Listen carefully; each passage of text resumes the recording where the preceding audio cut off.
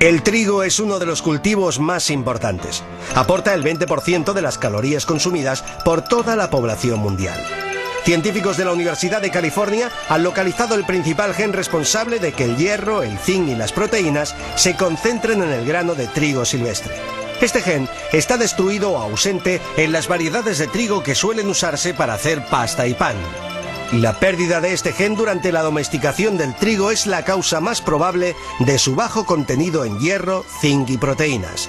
Al reintroducir el gen silvestre en las variantes cultivadas, los científicos han conseguido aumentar un 30% su contenido en estos nutrientes.